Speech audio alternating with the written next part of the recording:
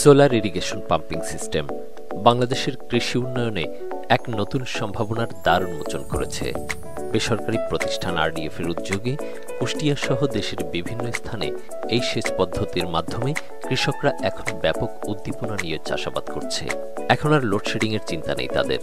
যেখানে ফসল উৎপাদনে বেগ পেতে হতো সেখানে সৌর বিদ্যুৎ চালিত নিরবিচ্ছিন্ন এই সেচ পদ্ধতি সঠিক সময়ে ফসল উৎপাদন পতিত জমি আবাদ এবং তিন ফসল উৎপাদনে গুরুত্বপূর্ণ অবদান রাখছে। ফলে সাশ্রয় হচ্ছে বিদ্যুৎ ফসল উৎপাদনও বেড়েছে কয়েক গুণ।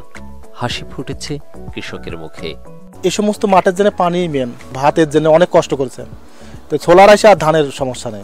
এমনি করেই এগিয়ে যাচ্ছে আমাদের ভালোবাসার বাংলাদেশ।